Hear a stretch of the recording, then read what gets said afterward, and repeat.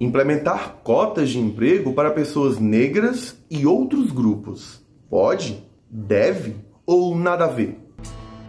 Pode, de acordo com a lei brasileira. As empresas podem implementar cotas de emprego para pessoas negras e outros grupos socialmente discriminados, como mulheres, pessoas com deficiência, pessoas indígenas, LGBTQIAP+, estrangeiros, etc.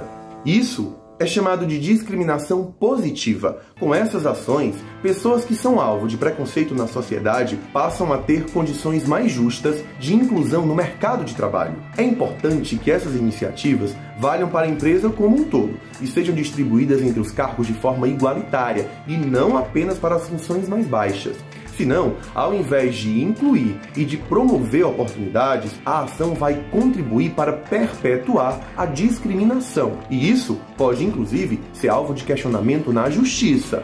Ah, vale lembrar que já existe uma lei que estabelece cotas para pessoas com deficiência ou reabilitadas nas empresas, e essa lei precisa ser seguida por toda a companhia com mais de 100 empregados. Até mais, gente!